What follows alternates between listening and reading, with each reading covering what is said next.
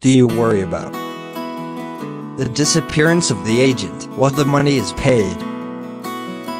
Insufficient of documents? Applied for a long time but result less? Tired of these complicated procedures and waiting for a long time?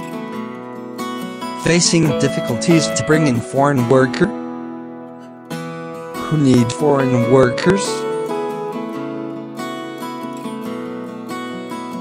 Factory workers and manufacturing workers. Restaurant service.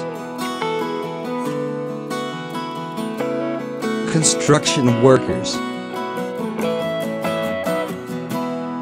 Agriculture workers.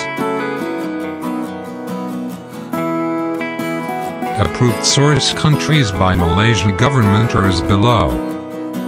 Bangladesh Indonesia Pakistan Vietnam Myanmar Nepal Philippine India Cambodia Sri Lanka Thailand Laos